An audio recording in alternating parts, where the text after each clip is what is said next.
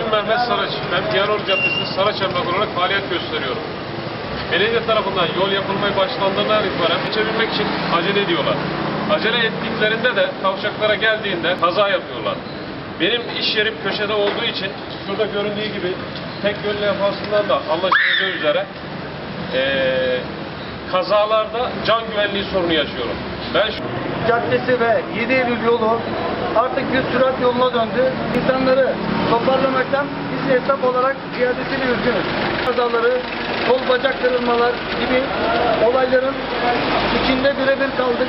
Maskenin bir an önce bu duruma el atmasını bizzat rica ediyoruz. Belediye Başkanımız Cengiz Ergün'ün eee, bu olayı hissedip bize dönmesini bir şekilde sağlayabilirsek ne mutlu bize.